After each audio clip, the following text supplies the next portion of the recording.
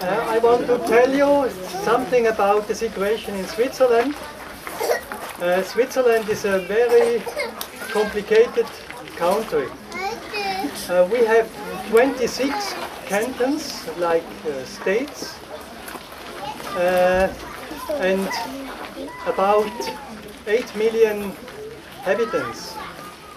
If you compare Bavaria, it has uh, 15 million inhabitants, Baden-Württemberg about 10 millions.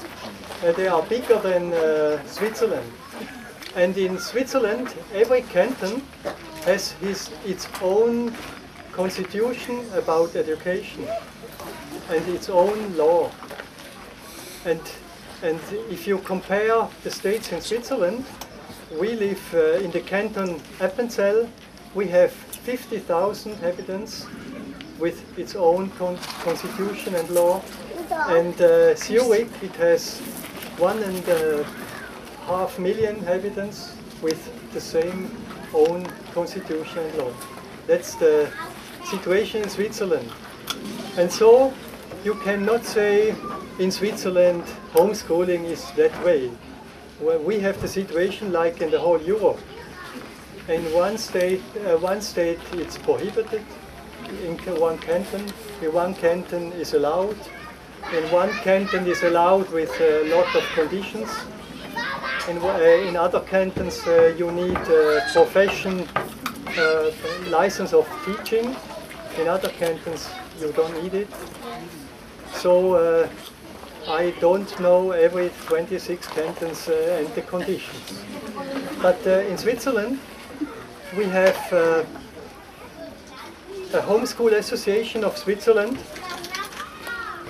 And uh, they they uh, try uh, if you have problem uh, with with the authority of the canton they try to help you. In this association homeschool association it's the, the beginning was was only homeschoolers and now I think the, the most of uh, unschoolers, they are also members of this association. They are our, our association. I don't know if other countries uh, this have in this in this uh, case. In Switzerland we have about 500 children. They they are they don't go to school and. Uh, and uh, in the cantons, because there are uh, still more children, the tendency is rising that uh, the regulation uh, is getting more strict, uh, like in other countries. It's not the opposite. It's a. Huh? In our in our uh, canton we have examinations for the children's. Uh, it's called cockpit, and they have to do it three times a year. Huh? Three times, half a year. Three times a year. And uh, yeah. and our children they make it with uh, Gehaltsbegeisterung. No. Huh? Enthusiasm. With? No enthusiasm. Yeah, yeah, with more and less enthusiasm.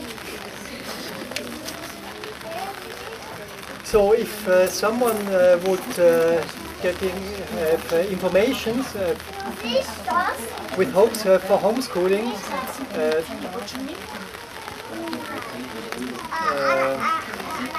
my advice is to, to have contact with the Homeschool Association in Switzerland.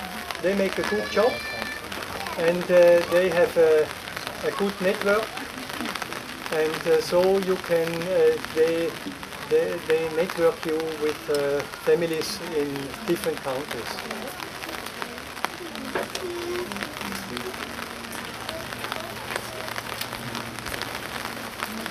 Yeah, that's why I, that's what I have to say. Nothing more. Thank you. Since the weather